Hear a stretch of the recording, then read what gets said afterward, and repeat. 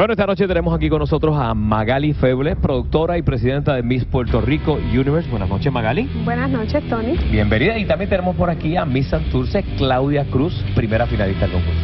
Buenas, noches. Buenas noches. Bueno, desde el sábado para acá, esto ha sido el notición, o sea, nos hemos olvidado del IBU, que si del que si la venta del madrugador, nos hemos olvidado de todo, todo lo que se está hablando es sobre este concurso y en las primeras planas se ha visto desde el sábado eh, tenemos por ahí las primeras planas, señor director, para que la gente tenga idea más o menos de eh, todo lo que estado, reina el escándalo, etcétera, etcétera, etcétera. Así que eh, tan reciente como esta mañana, pues comenzamos a escuchar de otros temas como amenazas, bombas, gas pimienta en el maquillaje y en la ropa. Magali, tú no sé qué hace, pero has hecho algo que tiene una promoción a nivel mundial. Yo creo que esto ya eh, trascendió ya nuestras barreras 100 por 35 y todo el mundo está hablando del concurso que fue este pasado viernes. Pues mira, definitivamente sí, em, no es la manera como la que queríamos captar la atención y, y que la gente nos reconozca y reconozca el trabajo.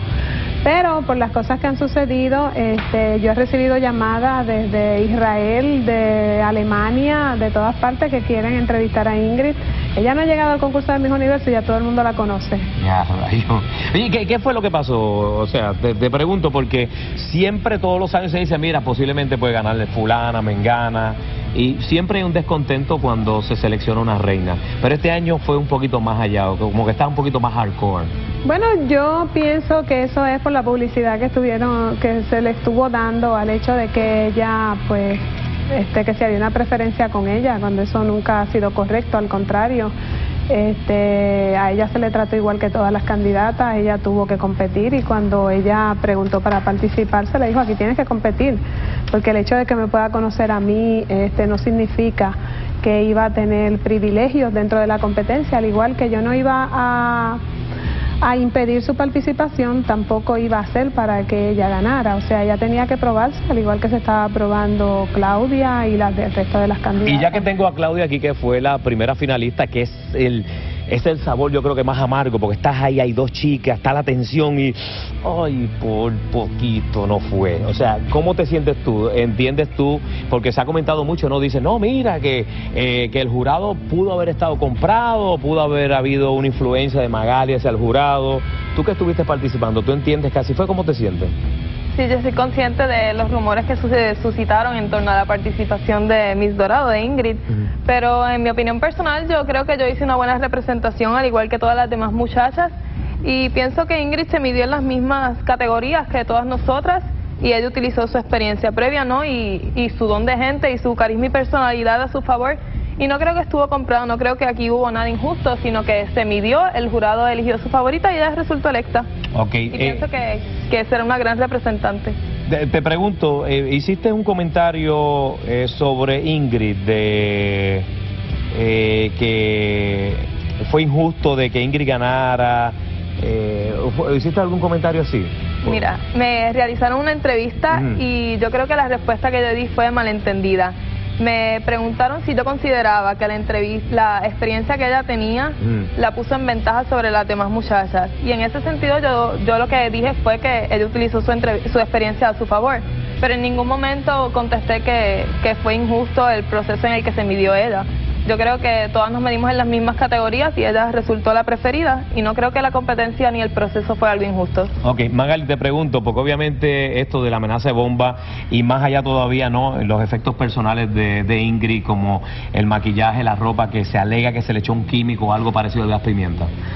Bueno, este, esa fue una situación bastante incómoda. La primera situación que a mí se me comenta es en la competencia preliminar. Yo no le di mucho crédito pensando en que, mira, lo mejor esa roncha que tiene es que está este, tensa por la competencia. Yo estaba tratando con una situación que teníamos técnica y, ciertamente seguí trabajando allá. Cuando vuelvo a preguntar me dicen, no, ella está llorando allá atrás porque tiene la cara bien roja y este y con ronchas. Con una reacción. Una reacción, al, sí. Al químico que se alega que a lo que A lo que no sé, pero como yo no tengo pruebas, no sé qué es lo que está, qué es lo que está ocurriendo, ahí vuelvo y pregunto por ella y me dicen, no, ella, ella se puso, se, se siguió maquillando Y eh, porque lo que ahora me explica ella es, ya ella estaba maquillada, pero entonces cuando se fue a retocar, ahí fue donde vino el problema y entonces se quitó la base y se retocó de nuevo para poder salir, pero dice que no se podía poner ni la, ni los aretes, ni... ni estaba entonces hinchada. estaba hinchada. Entonces, ya ahí, tú sabes cómo son los chismes de pasillo, empezaron a decir, no, que ella fue así sencilla porque lo que ella quería er- era que ella ya estaba segura del triunfo de ella, cuando la gente no, sabe la realidad de lo que ocurrió, que yo misma me entero después. Pasa la competencia, ella con quien hable con la persona de seguridad y pide que no se comente nada, que ella no quiere ningún issue sobre ese asunto. Pero el viernes, cuando surge la competencia, al final de la competencia, cuando ya es coronada, eh, que yo voy a, detrás del escenario, ella me pide que por favor la pase a un camerino que necesita quitarse el vestido. Y entonces la pasamos al camerino y cuando ella se, se baja el zipper del vestido, estaba llena de ronchas. ¿Qué pasó? ¿Qué fue lo que le pusieron? Yo no sé.